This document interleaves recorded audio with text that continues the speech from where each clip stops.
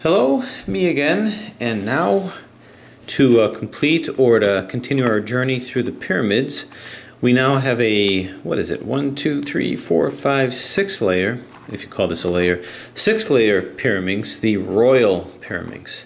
So how are we going to navigate our way through this? Well, when looking at this and analyzing it, um, you try to figure out strategies very similar to the professor Pyraminx. And of course, what stands out is aside from this top layer, which is really more of a for show, uh, the center layer now is pretty much like a Pyraminx. It has the same number of layers just in the center as the original Pyraminx. And you've got a variety of different types of edges that they have to deal with. Um, in the professor Pyraminx, you had two of the inner edges that articulate with the center. Now you've got three. And among these three, there's two different subtypes, which is going to be the one in the middle and um, the one at the end, and they're dealt with a little differently. Here, of course, you have four um, outer edges, two of which you deal with exactly the same way as the professor Pyraminx. And then you've got these other two, which kind of cross over. So you've got a lot of different overlapping, or actually non overlapping segments that you have to deal with. So it's like it's a couple of puzzles in one. Uh, turning is pretty good in this particular this particular model. So let's scramble it and see what we can do. Alakazam. And there we go. So it's my understanding there's not a whole heck of a lot of these guys out there. So it's uh, kind of a neat puzzle to um, to have and to, to play with here. So starting off, I, I did as complete a scramble as I could, even the top parts here too. So just to kind of get us in the mood, we might as well start putting these in here. Got the green up over here. This down along here. Kind of a throwback to the old regular Pyraminx times. This turns over here.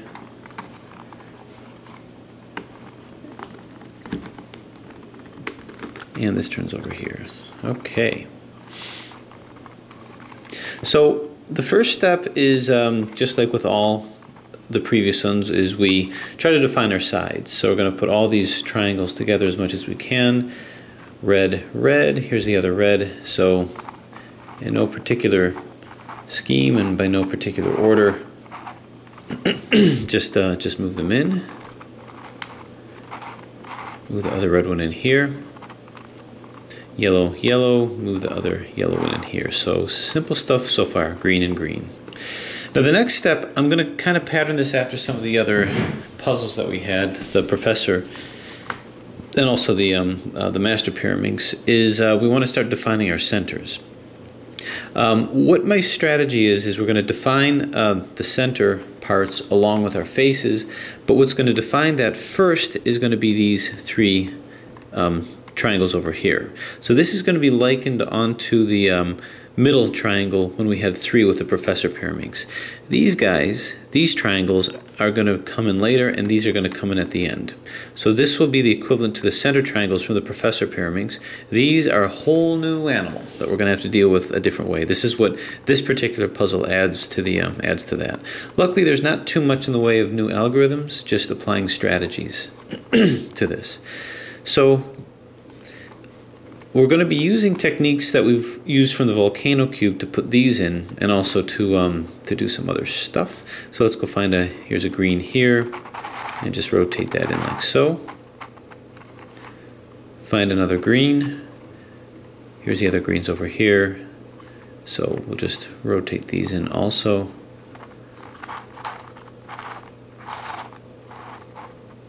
Turn this to move it out of the way. Move this in. And do we have to turn any back? Yeah, we'll turn this back. Now, you notice I'm moving this very cautiously, and that's because the core of this is kind of held together um, in a little haphazard way, and it's very easy for it to be um, to come apart. A new core is on the way, so I should be able to move it a lot freer. Anyway, the rest of them, here's a yellow, two yellows. We'll just put that here for now. So two yellows. Where's the other yellow? Here's the yellow. Other yellow over here. So now we've got to move this in. So we're going to move this in by turning these two here. and we're just going to do an exchange. So this moves in, like so. Then we turn, and this moves back. So we've got all of our yellows in place. And now purples, so we're going to start moving those in as well. Move the purple in. Okay, so just start doing some exchanging. This comes here. That'll turn. And this comes out so that we don't mess up the other centers that we got. And turn this back. And the final purple over here. So this is not too much different from the volcano cube, or volcano Pyraminx rather. Turn this in, turn it like so, and turn it back.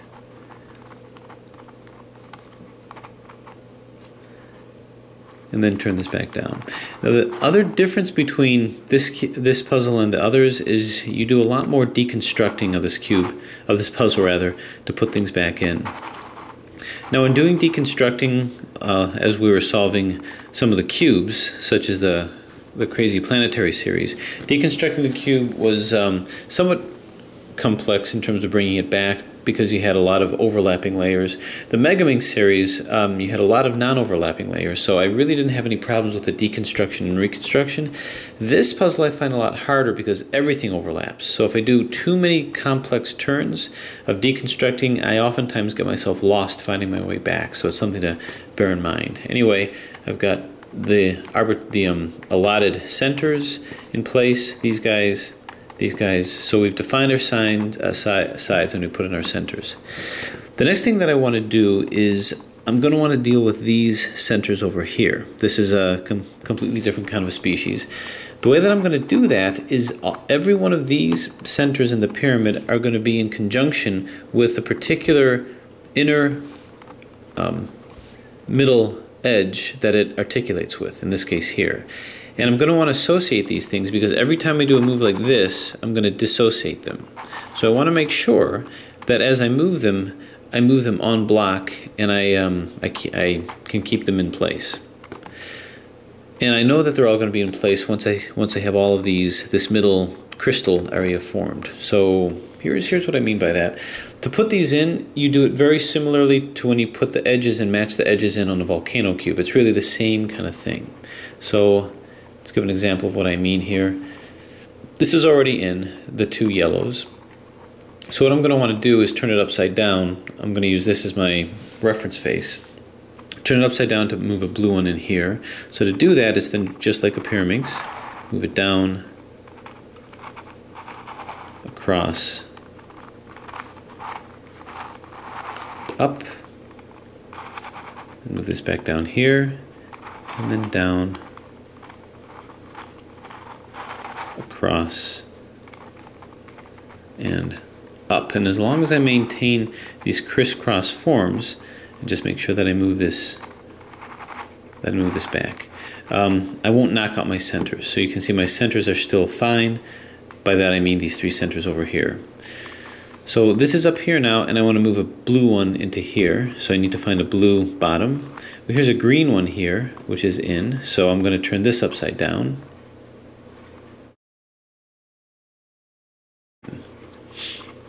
Okay. So those are up there. See what we can do here. So I want to move a red one in here. This red one will coincide with that pretty well. So I'm actually going to turn this upside down here. Turn.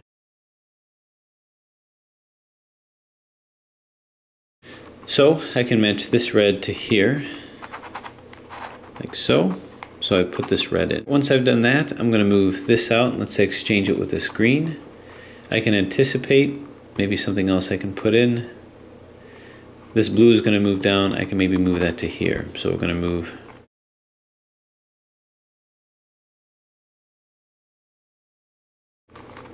So this blue is going to make it to over here, and in so doing, this gets turned back to the red. So I'm putting this side back in. All right, so now this is in. So I've got this solved here, this is solved here, This needs to be solved. This needs to be solved. This is solved. Anything on the bottom? Good, good, good. Okay, so we've got a couple down over here. So I'm going to start moving some of these already solved ones out and putting some of these guys in. And I'm not going to have it in any particular order at this point. All right, so we have this here ready to be put in somewhere. So this orange, this yellow rather, can meet this one down here. And I'm not really messing anything else up, so far as I know. So we'll turn this to here. And that basically puts this whole thing in. Did I put anything else in in the process? No. All right, so we're going to move this down. And do I have another one that I can move in? I can move these guys in. Now, which one do I want to move in? Well, I want to move this back so this blue one, it would be nice if I can move a blue bottom one in here, which could be any one of these. So I'm just going to move this down, turn, turn, turn. We'll just move our center centers back here. There we go. Now I want to move this back. So this blue will meet this blue. How about this red will meet this red? So we are good. We are good. So turn this over here. All right, so this is good, this is good. This needs to be put in. So now I'm just going to clean up the pieces here. What's left? There probably isn't that many. So this needs to be put in. Okay, there's this one over here. So this needs to be put in. So this green will make it to this green. And I got to find a blue one over here. So what I'm going to do first is just turn this, uh, turn this upside down. So the strategy that I'm going to do is ultimately what I want to do is turn this out so that I can move something in and then turn it back. So if I and still have things solved. So I'm going to turn this over here and I see that this is in, this is put in, this is put in, so everything is pretty much solved. But now how am I going to turn how am I going to turn this back and not destroy something? Well, it's pretty easy. All I've got to do is make sure that all these three are the same color. So I go to blue, uh, purple here, purple here. Just got to put a purple one here and then it'll be no problem. So let's find a purple color that, that I could use right over here. So we're going to move this one in. So I'm going to turn this like so. And now I'm going to just move this purple up to here. So turn, turn, turn.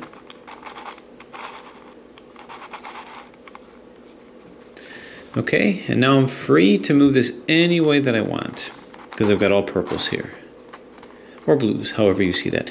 Anyway, so so that's all in. So basically I have all of these in. All of these are where they're supposed to be. Now, since I've done that, since I've loaded those in by moving these into position, just like with the um, with the Professor Pyraminx, these centers will become solved. These guys you don't have to worry about because these caps are solved at the end and this is placed individually. So that's the only that's the first major difference between this and the and the other puzzle.